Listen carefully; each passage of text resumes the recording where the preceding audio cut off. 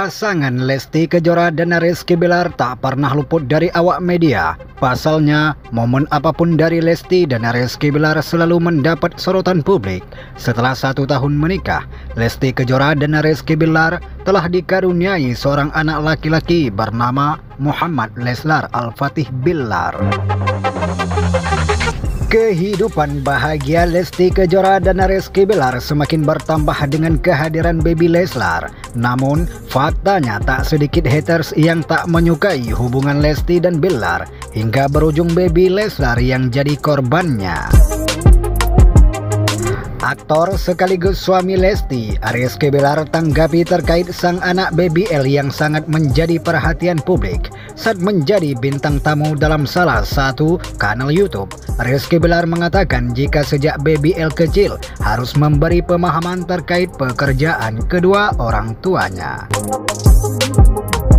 Areski Belar mengingatkan Baby L jika ia adalah anak dari seorang public figure yang selalu disorot publik untuk terkait anak bagaimana sejak kecil kita kasih pemahaman sama dialah dia harus sadar bahwa dia anak seorang public figure ucap Rizky Bilar.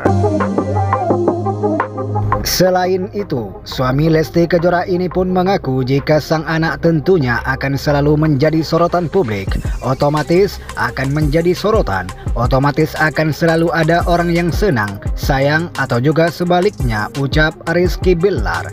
Rizky Bilar pun mengatakan jika dirinya dan Lesti perlu memberikan pengertian kepada Baby L.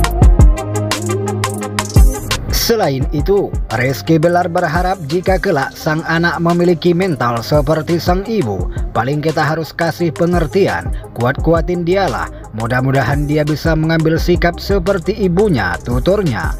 Hal ini lantaran sang ibu, Lesti Kejora tidak terlalu memperdulikan omongan orang lain terhadapnya.